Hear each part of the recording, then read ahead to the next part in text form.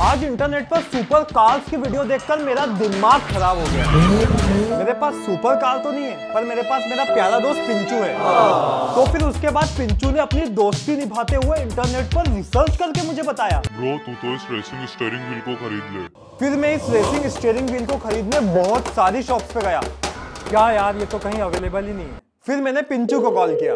हाँ हेलो पिंचू।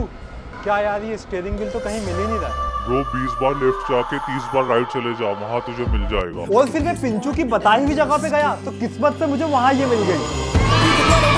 और फिर इसका पेमेंट मैंने अपने सैमसंग M34 से किया, जिससे तो सिर्फ़ टैप करते ही पेमेंट हो जाता है।